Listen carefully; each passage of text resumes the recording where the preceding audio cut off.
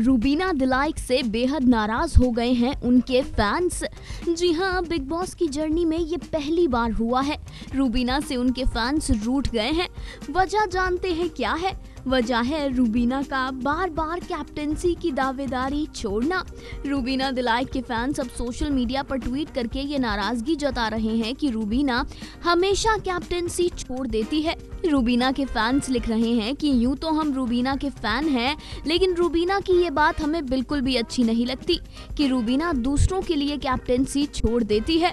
Well Rubina दिला एक काश। काश कि हम आपको बता सकते कि आपके फैंस आपसे इस बात पर कितने नाराज़ हैं। एक नहीं, दो नहीं, बल्कि लाखों ऐसे ट्वीट सोशल मीडिया पर किए गए हैं। उम्मीद है कि वीकेंड के वार पर सलमान खान रूबीना को फैंस की इस नाराज़गी के बारे में ज़रूर बताएँ।